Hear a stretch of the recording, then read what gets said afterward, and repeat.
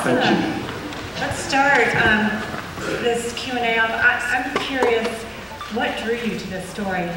Such a fascinating story, but what, what was it about this story that you decided to?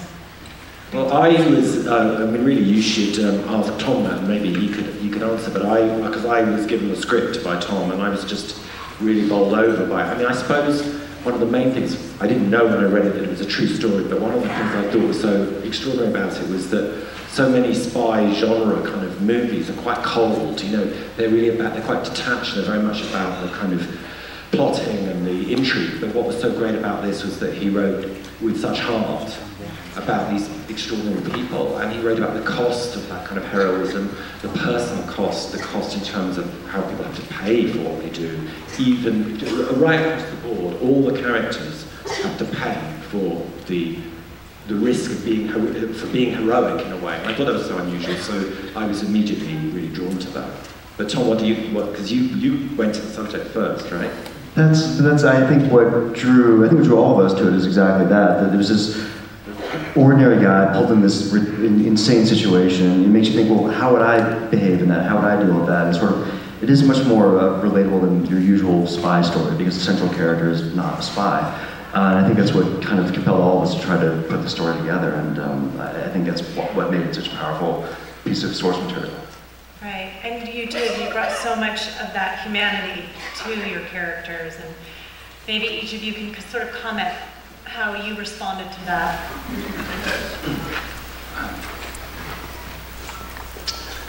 Um, for me, it's, it's always about human beings, whatever I'm portraying or playing film. Um, um, it's very important to have full information, um, especially about the people who really, really existed and really happened, these things to them. Um, but then it's also important to forget about that, to forget all the information went through your head about that person. So you kind of feel free and you, your condition as Penkovsky, you don't have to perform this anymore, you just feel everything about you. I don't know how this really happens. You need good director, good script, good partners, and enthusiasm, and then it works.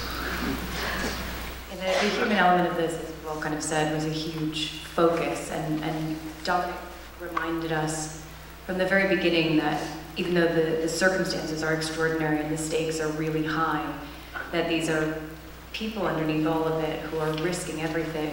And for, for Emily, I think she's grappling with the idea of what patriotism means to her and what she's willing to give up for a greater good or, or what the greater good is. You know, that's always a question that a lot of the characters in the script are grappling with. But it was something that was a focus um, that we talked about a lot, the, the human element underneath these people.